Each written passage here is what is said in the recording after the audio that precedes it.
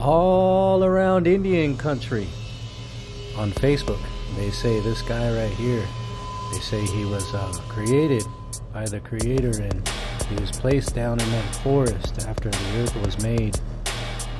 And he was made to protect it and watch over it and look out for everybody in there. You know, the, the ducks and stuff. And yeah, so also you get lost way out in those mountains. You get lost, and this guy right here, he'll he'll pop up. He'll he'll show you where to go, especially those little ones. He likes to watch over those little ones, and you know sometimes you go to the wrong place and you hear his call. When you hear his call, you should probably